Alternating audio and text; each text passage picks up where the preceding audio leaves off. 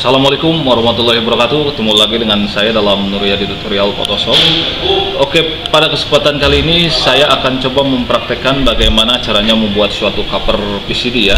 Oke, di sini bentuknya seperti ini. Bahan-bahan yang perlu kita siapkan selain komputer dan printer. Di sini kita yang utama adalah DVD itu tersebut. Ini suatu covernya. Dan sebagai nanti yang akan kita setting atau kita edit di sini saya sudah menyiapkan suatu kertas e, foto berukuran A4 saya mengambil kertas foto ini yang ringan ya yang paling ringan. Ini bisa kita dapatkan di toko buku maupun toko-toko percetakan lainnya. Dan yang terakhir adalah sebagai e, pendukung lainnya adalah penggaris ya. Penggaris ini adalah fungsinya. Kita akan mengukur e, lebar dan panjang dari cover PCD ini ya. Baik langkah pertama langkah pertama saya akan buat step per step ya. Ini mudah sekali. E, silahkan anda buka cover bit PCD nya seperti ini. Terus langkah pertama kita menentukan step pertama menentukan panjang dan lebar. Silahkan anda ukur dengan penggaris seperti ini ya. E, kita ukur panjang dan lebar. Ini masuk dalam step pertama. Kalau kita ukur di sini kita mendapatkan ukuran sekitar 26.5 silahkan anda tulis ya pada step seperti ini ya panjang 26.5 dan kita juga ukur lebarnya dengan penggaris seperti ini. Baik ukur panjangnya saya ulangi lebarnya seperti ini. Oke sekitar 18.3 jadi kita dapatkan hasil seperti ini ya. Baik itu masuk dalam step pertama. Baik step kedua di sini dalam cover PCD ini ini ada space ya di tengah seperti ini kalau kita lipat kita tutup seperti ini ya nah space itu kita ukur ya kita ukur di sini dengan penggaris Oke, kita sudah mendapatkan ukuran 0,5 cm. Baik, 0,5 cm itu kita masukkan ke step 2 seperti ini. Kita anggap space. Kalau kita sudah mendapatkan ukuran seperti ini, ya, silahkan Anda ikuti tutorial Photoshop seperti ini. Oke, silakan Anda buka Photoshop Anda. Kita akan membuat ukuran seperti ini di Photoshop ya. Baik, akan saya contohkan. Silakan Anda klik new seperti ini ya. Di sini pixel Anda rubah cm, silakan Anda tuliskan ukuran ini 26.5, oke, kali 18.3 18.3 seperti ini dengan resolusi Anda klikkan sekitar 300 seperti ini. Oke, cukup. Kita warnai dengan warna hitam seperti ini. Baik sekarang kita akan menentukan space tengah dengan ukuran 0,5 ya. Caranya seperti ini ya. Silahkan anda klik di sini saya membuka suatu kalkulator. Oke di sini saya klikkan 26.5 oke dikurangi 0.5 dikurangi space bagi dua. Karena eh, bagi kenapa saya bagi dua? Hasilnya 13 karena bagi dua adalah nanti eh, kertasnya atau blanko saya ulangi cover PCD ini kita bagi dua. Oke saya akan klikkan 13 view. New guide saya akan klikkan vertikal 13 seperti ini. Terus ditambah 0,5 uh, ke kanan atau ke sebelah sini ya dengan kita cara menambahkan oke 13 tambah 0,5 jadi 13.5 hasilnya ya. Oke kita sudah menentukan suatu space tengah ya seperti ini. Baik di sini saya sudah menyiapkan sebagai pendukungnya eh, dua buah vektor. Dua buah vektor tersebut bisa anda dapatkan di Google gambar. Silahkan anda buka Google gambar anda. Anda klikkan dengan keywordnya ornamen vektor PNG di sini banyak vektor-vektor oke saya pilih yang ini ya. Yang berformat VNG dan yang kedua saya klik yang ini tetapi saya klik yang sininya ya. Oke di sini juga banyak seperti ini. Ya silahkan anda pilih sesuai dengan keinginan anda. Oke kedua bahan tersebut cara mendapatkannya seperti itu. Baik kita akan melanjut ke pembuatannya eh, pembuatan le label saya ulangi pembuatan cover CD nya oke yang pertama kita akan drag gambar ornamen ini atau vektor ini ya ke sini seperti ini Baik, ini akan saya duplikat terus. Klik kanan, pilih duplikat layer seperti ini. Oke, seperti ini. Klik kanan, merge down ya. Saya ulangi, klik kanan, merge down. Klik kanan lagi, pilih duplikat layer seperti ini. Kita gabung seperti ini ya. Oke, akan kita gabung. Oke, klik kanan, Anda pilih merge down. Oke, kita akan perkecil seperti ini. Oke, tempatkan kita di pojok sebelah sini ya. Oke, seperti ini. Terus kita duplikat, klik kanan, pilih duplikat layer. Oke, duplikat layer. Oke, kita akan gabung seperti ini. Oke, cukup. Klik kanan, pilih merge down. Oke, seperti ini baik akan saya perkecil lagi seperti ini kita paskan ya dengan ukuran. Oke cukup seperti ini. Kemudian kita duplikat klik kanan pilih duplikat layer seperti ini. Kita tarik ke bawah ya. Oke satu kita tarik ke bawah seperti ini. Oke seperti ini. Kemudian kalau sudah seperti ini kita merge down atau kita gabung klik kanan merge down. Seperti ini cukup Oke, kalau sudah kita merge down ya, klik kanan Anda pilih blending option. Anda klik gradient overlay, kita pakai gradient mask ya. Oke, sebagai contoh kita klik 90 0 150. Oke. Oke, cukup. Hasilnya seperti ini. Baik, langkah berikutnya saya akan memasukkan sebuah foto ya sini.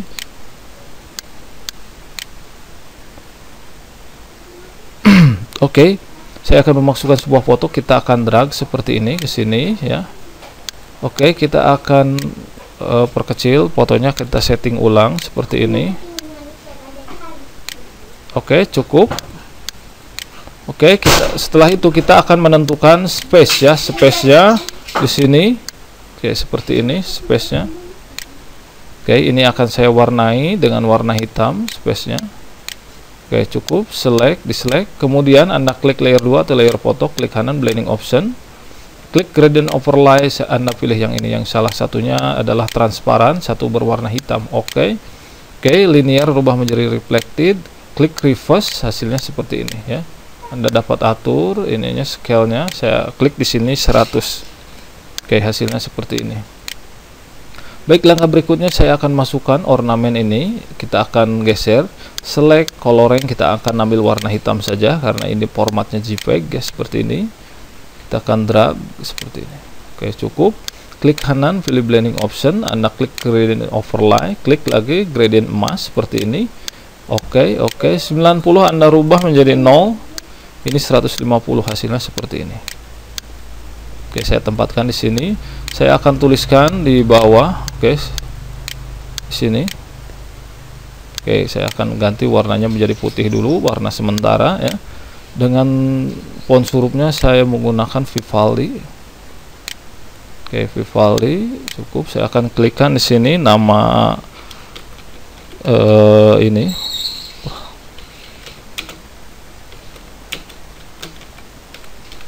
Oke, seperti ini.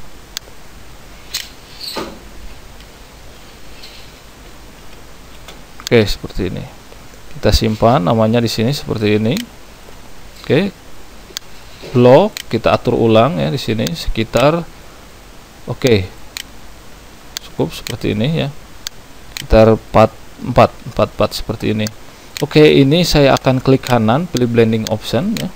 Saya klik gradient overlay, saya pilih lagi gradient mask. Oke, saya di sini banyak menggunakan gradient mask seperti ini, gradient gold silahkan uh, saya banyak mencontohkan bagaimana cara mendownload uh, gradient school seperti ini di tutorial yang sebelumnya. Silahkan kalau belum anda kalau anda belum mendapatkan atau belum ada gradient school seperti ini silahkan anda ikuti tutorial sebelum sebelum ini ya. Atau saya pernah mencontohkan bagaimana caranya membuat suatu gradient mendownload saya ulangi cara mendownload suatu gradient school seperti ini Baik, langkah berikutnya di sini saya akan klikkan lagi di atasnya ya dengan font hurufnya saya menggunakan M Mesquit. Oke, sini Mesquit. Saya akan tuliskan di sini. Oke, di sini saya akan tuliskan cerita kisah cinta. Oke, ini sebagai contoh saya klik di sini ya. Blok perbesar seperti ini. Oke, cukup klik kanan blending option. Anda klik gradient overlay. Ya sini saya contohkan pilih gradient emas lagi gradient scroll 90 anda rubah menjadi 0 150 hasilnya seperti ini. Oke okay. baik satu gambar lagi akan saya masukkan ya. Oke okay. satu gambar lagi akan saya masukkan di sini. Oke okay. open with ada Photoshop. Satu gambar foto lagi. Oke ini akan kita drag seperti ini ke sini. Oke fotonya gede. Oke ini akan saya perkecil oke. Akan saya perkecil seperti ini. Oke ini saya tempatkan layernya berada paling bawah ya seperti ini. Oke cukup seperti ini. Saya tarik lagi. Oke. Cukup atau kita nanti akan sedikit melakukan sedikit pemotongan seperti ini ya. Klik anda ini uh, rectangle. Terus kita ya, potong seperti ini. Tekan delete oke klik kanan diselect oke langkah berikutnya klik kanan pilih blending option ya seperti ini klik gradient overlays anda pilih yang ini oke linear menjadi reflected oke klik reverse hasilnya seperti ini ya Oke, kita tempatkan ini, klik move tool di atas seperti ini. Oke, seperti ini. Baik, langkah berikutnya saya akan menuliskan di atasnya ya, di sini di atas. Saya akan menuliskan dengan mesquit video kisah cerita cerita cinta per pertama sebagai contoh ya. Silahkan anda klikkan apa saja sesuai dengan isi video. Oke seperti ini. Saya blok simpan di sini. Cukup. Oke ini klik kanan blending option klik namanya gradient overlay kita klik gradient overlay yang ini. Oke oke cukup. Baik di bawahnya saya akan kasih deskripsi dari videonya ya sebagai contoh saja ini. Uh, saya akan klik di sini dengan mode hurufnya Vivaldi ya. Ukuran hurufnya saya pakai 18 di sini saya akan klikkan. Oke di satu. Itu silahkan anda di sini isikan ya di pertama anda jelaskan bahwa untuk isi pertama adalah isinya adalah video video pernikahan oke dan pre Oke, sebagai contoh ya saya simpan di sini untuk disk pertama ya.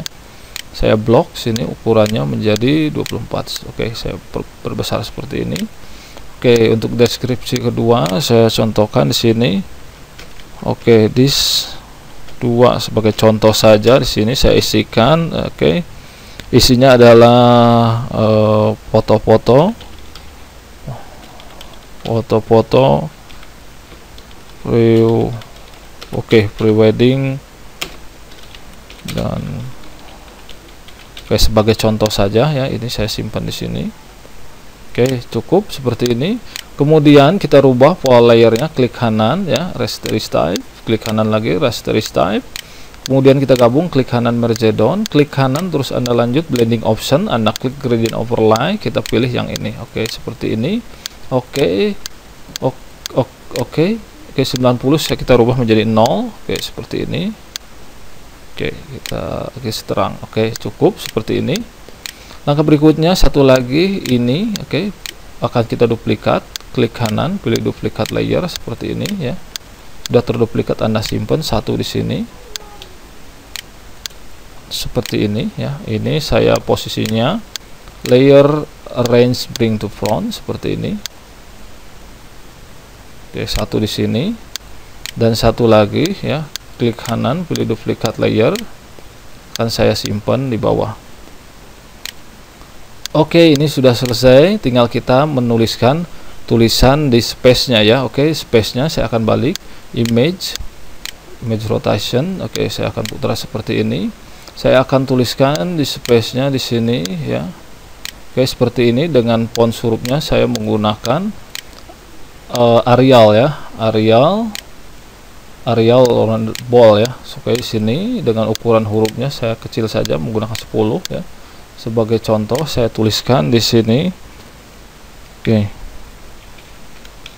Nuryadi Nuryadi Photoshop oke okay. Nuryadi Photoshop silahkan sub oke okay, subscribe ya oke okay. Oke, kita akan setting. tempatkan di center seperti ini oke cukup kalau sudah kita putar lagi ya seperti ini image rotation oke seperti ini. Kalau sudah kita akan print di kertas A4 eh, seperti yang saya jelaskan di awal kita akan mengeprint pada kertas glossy atau kertas foto A4 klik new kertas A4 nya international paper A4 seperti ini ya. Terus kita drag ya kita drag editan kita ya. Kita gabung dulu klik kanan semuanya atau masuk layer di sini ya anda masuk merge visible terus anda klik move tool kita akan drag ke kertas A4 seperti ini. Terus edit transform rotate 90 oke. Okay. oke okay, ini sudah selesai. Sekarang saya akan coba praktekkan bagaimana cara ngeprint. Terus nanti akan kita potong terus akan kita setting ke cover CD nya ya. Oke silahkan anda ikuti cara ngeprintnya seperti ini Oke ini adalah cover uh, PCD yang sudah kita setting di kertas A4 ya glossy. Di sini saya akan buka di Photoshop CS3 ya CS3 dan CS6 sama saja ya. Oke silahkan ini sudah siap print. Oke di sini saya akan coba contohkan untuk ngeprint. Oke saya akan masukkan kertas A4 nya ini. Ini uh, kertas A4 ya printernya seperti ini. ini kertas A4 ini adalah kertas A4 glossy cukup seperti ini ya. Oke baik kita masuk lagi ke sini silahkan anda kontrol. Oke di sini kita menggunakan printer uh, L300 ya. Oke baik setupnya. Di sini kita sudah setting pada kertas A4 seperti ini.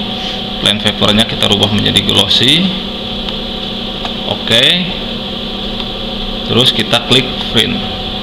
Print proses. Print oke okay, baik akan kita lihat hasil printnya ya. Ini.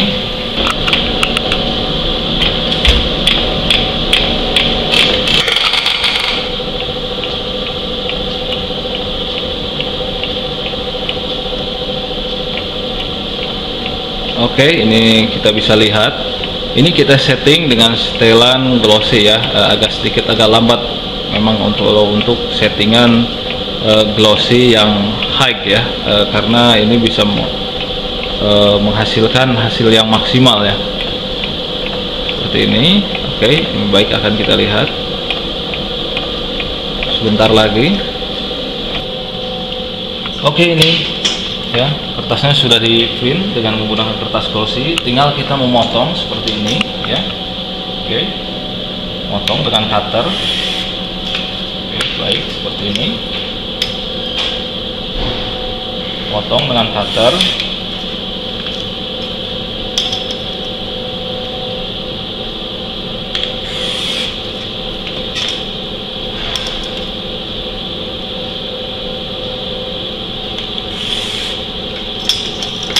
Oke, okay, kalau sudah terpotong dengan cutter seperti ini, kita tinggal lipat seperti ini.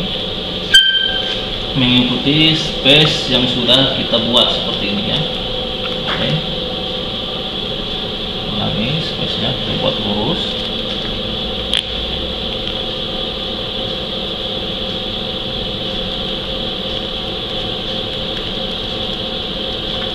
Oke, seperti ini ya, cukup. Satu balik lagi space nya ini ya kita bikin seperti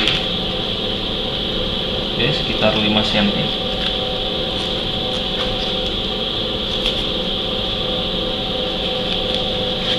oke seperti ini. Baik. Space nya seperti ini. Baik akan kita masukkan ke label CD nya seperti ini di sini kita bisa atur ulang lagi seperti ini ya. Oke. Oke, ini adalah cover VCD-nya ya. Silahkan Anda baca di sini Nuryadi Postoshop channel. Silahkan jangan lupa kalau sudah nonton video ini silahkan subscribe. Oke, sekian tutorial dari kami. Semoga bermanfaat. Terima kasih. Assalamualaikum warahmatullahi wabarakatuh.